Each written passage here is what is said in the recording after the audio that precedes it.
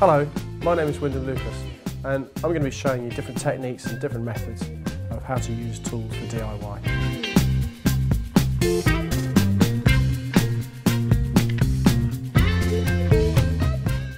Today we're going to learn how to use a screwdriver.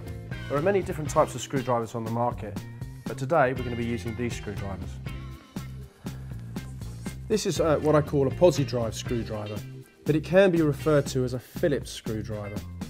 Um, so if someone says to you, oh, can I have a Phillips screwdriver, this would be the type of screwdriver that, you would uh, use.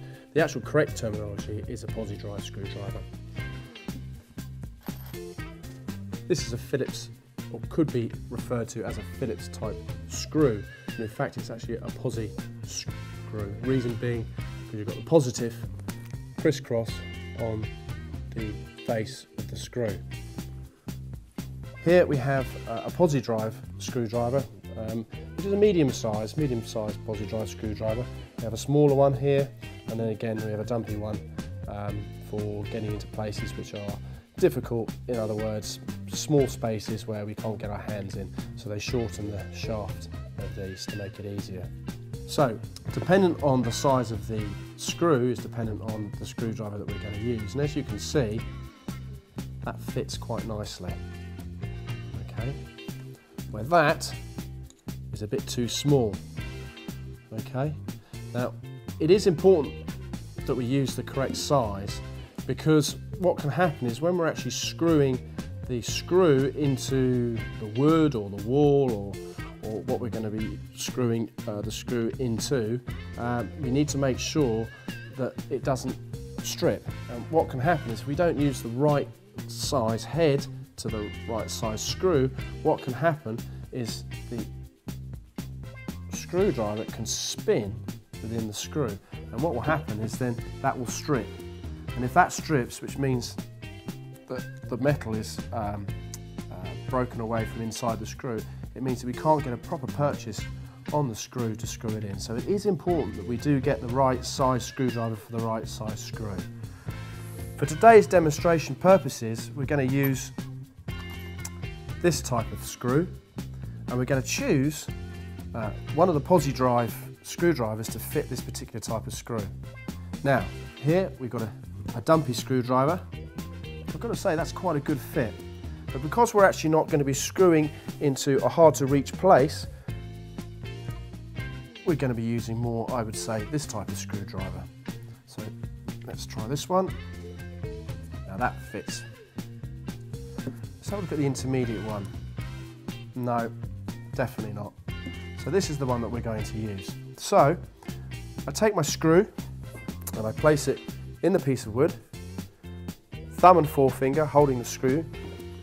I take my screwdriver, place it in the top of the screw and turn gently at first. Take my screwdriver away and have a look to make sure that it's actually straight straight to me. Again, place the screwdriver on top of the head. As you can see, what I'm doing is I'm using the palm of my hand, I place the screwdriver in the palm of my hand, which gives me good purchase or good bit of push on the screw as I'm screwing in. Can you see? Twist, twist, twist. Now a nice little tip for you to make it easier to screw into the wood because what I use is a little bit of candle wax. What I do is I scrape the screw on the candle wax like that. And then place the screw back into the hole. Again, screwdriver, top of the screw, and look how much easier that goes in. It's a nice little tip for you. There we go. Perfect.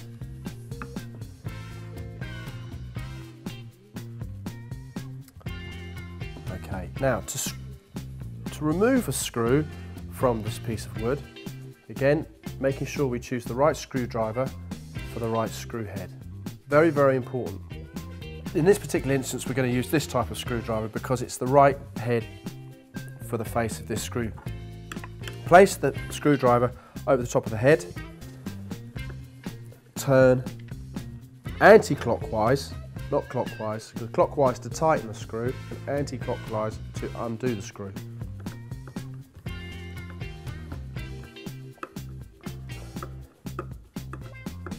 Like so.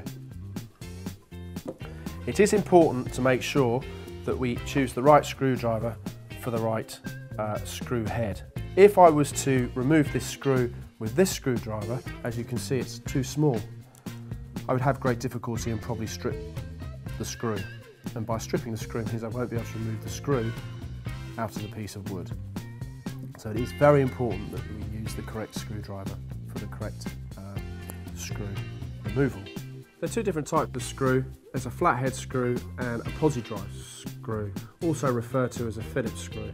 Okay, uh, in this uh, demonstration I'm going to show you how to screw a flathead screw um, using a flathead screwdriver. Choosing the right flathead screwdriver for uh, the right flathead screw is quite important, partly because these strip quite easily. And what I mean by strip is that when the screwdriver slips in the top of the screw, it can break away the, um, the metal within the, in the screw, which makes it much more difficult to turn the screw into the piece of wood or whatever the screw into. Um, so let's uh, choose the correct screwdriver um, for the right screw. Now we've got a dumpy one here. Okay, so that's a reasonably good fit, and that we'd use this type of uh, screwdriver to get into hard, hard uh, places, places that you couldn't get your hand in or wasn't much room. Uh, for this demonstration, we don't need to use that, um, but we could use this type of screwdriver. Let's have a look. Okay, that's a fairly good fit on uh, that type of screw. Okay, so let's place the screw into the piece of wood. A nice little tip, certainly with using flathead screws, is a little bit of wax. Like so. Place the screw into the hole. Choose the right screwdriver, flathead. And screw, keeping consistent weight clockwise to tighten, anti-clockwise to undo.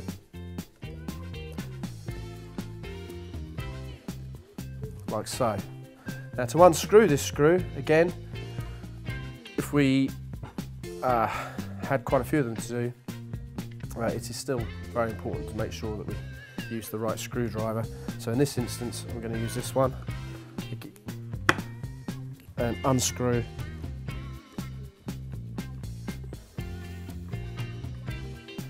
like so. And that's how to use the different types of screwdriver for the different types of screw. I hope you found today helpful on the different techniques and methods of using certain tools for different DIY projects. If you'd like more information, please visit my website.